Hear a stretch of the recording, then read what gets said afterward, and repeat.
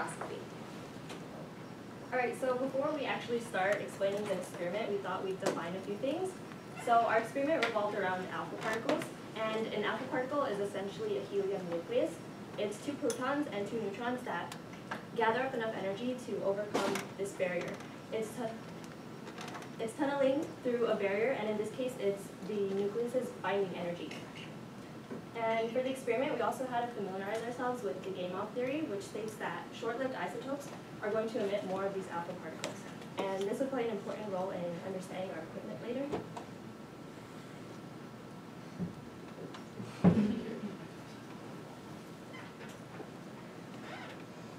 The purpose of our experiment was to establish the thickness of certain foils. Uh, we were using uh, aluminum foil, and uh, a way to do this would be to, to use uh, alpha particles. Uh, because um, the thickness might affect alpha particles that we sent at the foil. We thought that the thicker the foil is, the lower the energy would be of the particles that go through the foil as they would slow down from passing through.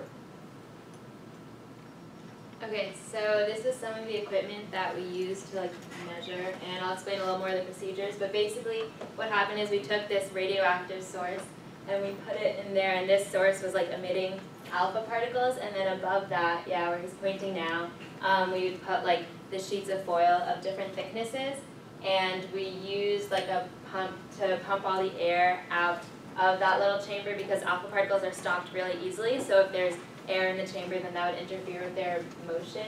Um, so we like created basically a vacuum um, within that chamber and covered it to prevent photons from getting in so that um, the sensor, which is up there, would only be reading like the alpha particles coming in.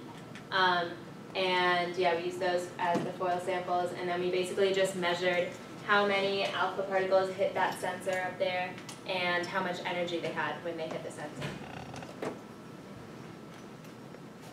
Um, yeah, so like I said, our procedures were to calibrate everything to make sure that our measurements would be accurate. And initially we put in foils that we knew the thickness of, and we measured how much energy they had when they came through and how many of them came through, so that we had something to like base everything else off of. And then we took the foils that we didn't know the thickness of, and we ran the same procedure, and we compared how much energy those foils had compared to the foils that we knew the thicknesses of, and used that to figure out how thick our unknowns were.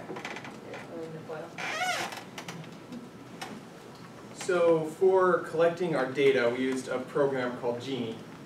And essentially what it does is it will show you spikes where the energies of alpha particles that are being detected by the silicon detector are showing up. And so we used a source with alpha particles to calibrate our sensor.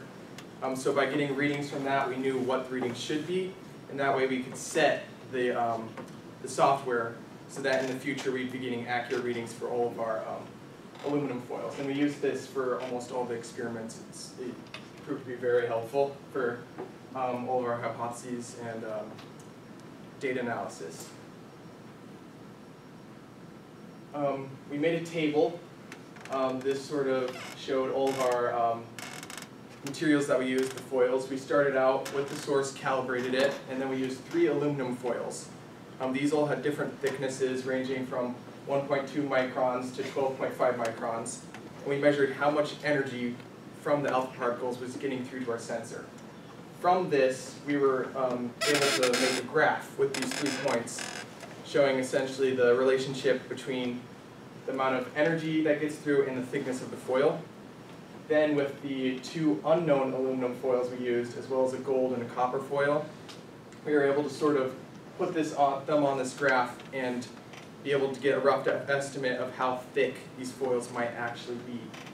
Um, for the gold, the aluminum, and both aluminum unknowns, we ended up getting energy through, so we were able to put them on this graph. The copper one, we determined was probably too thick because none of the alpha particles were making it through.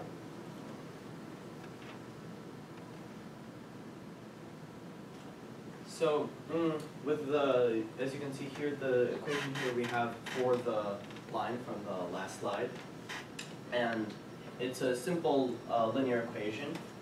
Uh, the slope of the line here is negative, which shows that uh, with x being the uh, the energy and y being the thickness. So as the thickness goes up, the um, the energy goes down. Uh, we use this uh, equation and to figure out the thicknesses of these foils, and also to co- confirm our hypothesis, which I explained earlier, that the thickness of the foil decreases the energy of the alpha particles. Thank you.